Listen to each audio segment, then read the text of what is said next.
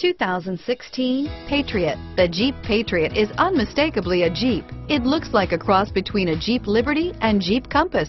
Or maybe a three-quarter scale version of the big Jeep Commander. The Patriot has plenty of room inside for any size family. Here are some of this vehicle's great options. Air conditioning, front.